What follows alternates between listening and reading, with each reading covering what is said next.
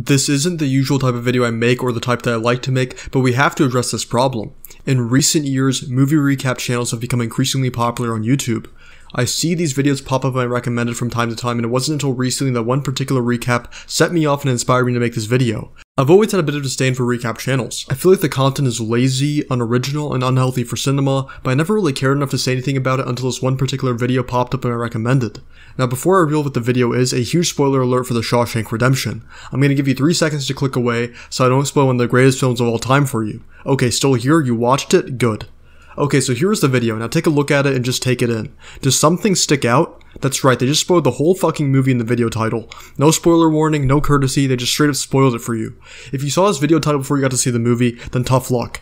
Now I'm not going to go through this channel so I don't spoil other movies, but this is a serious problem that I noticed with movie recap channels. They say way too much in their titles, to the point where every time I see a recap channel I recommended, I block the title in my hands to not spoil anything for myself, while I tediously click the not interested button to hopefully deter future recommendations.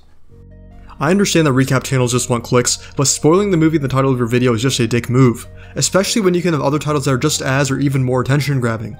For example, with the Shawshank Redemption, they could have just put Rich Banker gets wrongfully imprisoned for wife's murder, and it would have worked out just fine.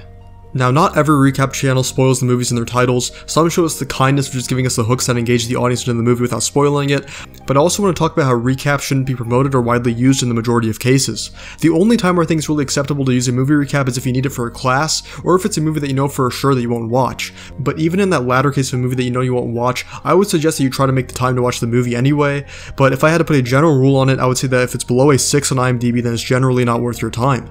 Now keep in mind I'm someone who loves film and wants to eventually work in the industry, so of course I'm going to say that you should watch movies whenever you can regardless of how long they are or mass opinion, because reviews and audience reception never tell the full story. But the people who watch recaps are not people who are into film. People who watch these videos just want a quick fix of storytelling that will only take them 8 to 15 minutes. And to be honest, this is horrible for the art that is film. Before I got into movies, I used to be someone who could watch a recap or read a synopsis and not care. But now I stand by the fact that the least that we can do to the actors, directors, and various other crews that have spent countless of hours to make this movie is to take the two hours or so to watch their end product. Sure, some movies may not be as intricately crafted as others, but making a movie still takes a lot of time and effort. So the least that we can do is to take the time to watch something that is meant to be enjoyable in the first place. I hate to say it, I'm gonna sound like a boomer, but honestly the fast content we see on TikTok and other platforms does make us a bit less patient. Now I'm not just saying that the rest of my generation is like this because believe me, I'm a victim of this too. I have spent plenty of time on TikTok, YouTube Shorts and Instagram Reels and it's really easy to get caught in a cycle of swiping, with hours passing by and not even noticing. But this instant content probes us to immediately get some gratification or satisfaction, and this intrudes with us when we take the time to read a book or watch a movie. Especially when those books or movies aren't quick to give us something that grabs our attention and we have to be patient. Movie recaps also just chip away at the art that is cinema. These recaps get rid of the pacing, cumulative hints, and character development that movies have by just cutting to the chase of it. We don't get to see the movie at the rhythm that the director wants us to see it at, and we don't get to experience the emotions that the characters are going through because in recaps we relate everything through a narrator that just summarizes key plot points. We don't get to see what the director and cinematographer want us to see, and we don't get to hear what the music composer wants us to hear.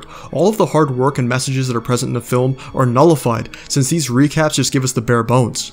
We don't get to have that key takeaway or climactic moment since we don't get that build up or the subtle parts of the story. A movie recap can make even the greatest movies forgettable since the tension and pacing that films thrive on are taken out of the equation.